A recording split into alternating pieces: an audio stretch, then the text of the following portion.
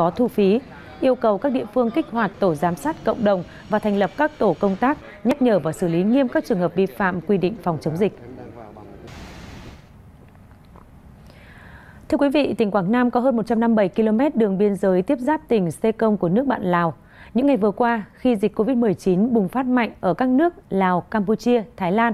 bên cạnh duy trì tốt 21 chốt chặn trên tuyến biên giới, Bộ đội Biên phòng tỉnh Quảng Nam đã phối hợp với các lực lượng, nhân dân địa phương tăng cường siết chặt công tác tuần tra kiểm soát tuyến biên giới và các đường mòn lối mở để ngăn ngừa dịch COVID-19 xâm nhập vào nội địa. Những ngày này, bất kể ngày đêm, lực lượng phối hợp gồm Bộ đội Biên phòng, Công an và dân quân thường trực của xã La huyện Nam Giang, tỉnh Quảng Nam vẫn luôn sẵn sàng tăng cường tuần tra, chốt chặn trên tuyến biên giới, nhất là khu vực đường mòn lối mở, đề cao cảnh giác với các hoạt động xuất nhập cảnh trái phép. Với cái tinh thần là chống dịch như chống giặc thì anh em luôn luôn là xác định rõ cái vai trò trách nhiệm đấy, của người chiến sĩ biên phòng đấy, luôn luôn là xác định là hoàn thành tốt cái nhiệm vụ cấp trên giao. À, riêng đối với địa bàn của đồn cửa khẩu Nam Giang thì à, à, hầu hết các cái đường mòn lối mở ấy, thì à, chúng tôi đều à, xác định bố trí cái lực lượng trực trực tiếp à, triển khai các chốt ở các vị trí trọng yếu.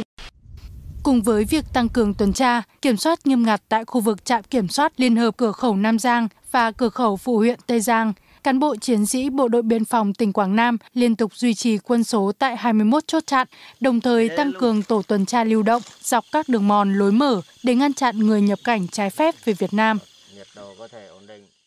Đứng trước cái tình hình à, Campuchia và nước bạn Lào diễn biến hết sức phức tạp, Bộ đội Biên phòng đã tiếp tục chỉ đạo 21 chốt trên biên giới tăng cường cái quân số phối hợp chặt chẽ cái lực lượng công an, dân quân các xã biên giới để làm cái nhiệm vụ bảo vệ vững chắc cái chủ quyền an ninh biên giới và kết hợp với phòng chống dịch, ngăn chặn các hoạt động nhập cảnh trái phép từ bên Lào về Việt Nam. Với tinh thần chống dịch như chống giặc, cán bộ chiến sĩ biên phòng dọc tuyến biên giới của tỉnh Quảng Nam đang nỗ lực hết sức mình cùng chính quyền và nhân dân các địa phương khu vực biên giới ngăn chặn các nguy cơ để dịch bệnh xâm nhập vào nội địa. Chuyển sang một số thông tin kinh tế đáng chú ý. Tổng cục Thống kê Bộ Kế hoạch và Đầu tư vừa công bố chỉ số giá tiêu dùng CPI tháng 4 và 4 tháng đầu năm 2021. Theo đó, CPI tháng 4 giảm 0,04% so với tháng trước và tăng 1,27% so với tháng 12 năm 2020. So với cùng kỳ năm trước, CPI tháng 4 tăng 2,7%,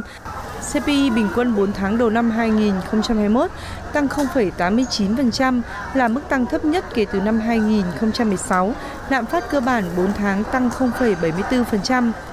Trong 11 nhóm hàng hóa và dịch vụ tiêu dùng chính tháng 4 năm 2021, có 4 nhóm giảm giá so với tháng trước, 6 nhóm tăng giá, riêng nhóm may mặc và mũ nón giày dép giữ giá ổn định.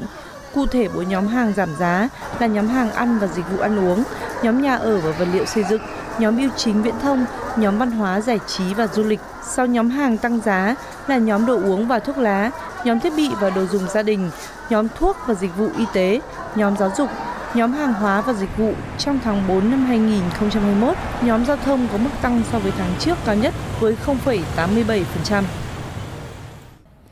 Theo số liệu từ Tổng cục Hải quan cho biết, ước tính ô tô nguyên chiếc các loại nhập khẩu về Việt Nam trong tháng 4 giảm so với tháng 3 nhưng lại tăng đến 189,1% về lượng và tăng 124,1% về giá trị so với cùng kỳ năm ngoái.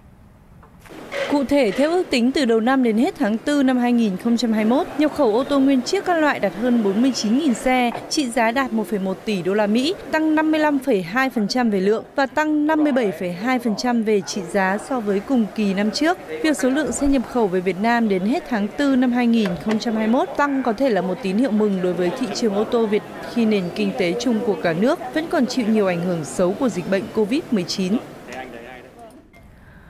Nằm ở độ cao trên 1.800 m so với mặt nước biển, xã Ngọc Chiến, huyện Mường La của tỉnh Sơn La có khí hậu trong lành, cảnh quan thiên nhiên hoang sơ, hùng vĩ cùng các mỏ nước khoáng nóng tự nhiên, những ngôi nhà sàn mái lợp gỗ pơ mu hàng trăm năm tuổi, con người thân thiện và những bản sắc văn hóa độc đáo được đồng bào các dân tộc giữ gìn là điều kiện thuận lợi để phát triển du lịch cộng đồng.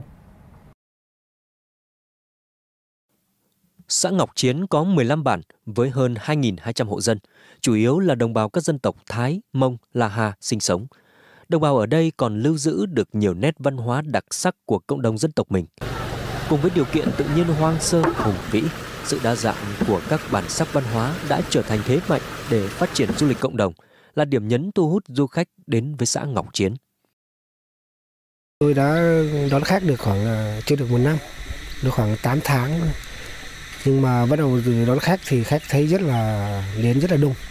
Đặc biệt là cái mùa du lịch, mùa nước đổ và cái mùa à, lúa chín. Khách là chủ yếu là cái uh, ảnh hưởng ờ, hưởng lợi từ cái mùa cao trải, yên bái sang.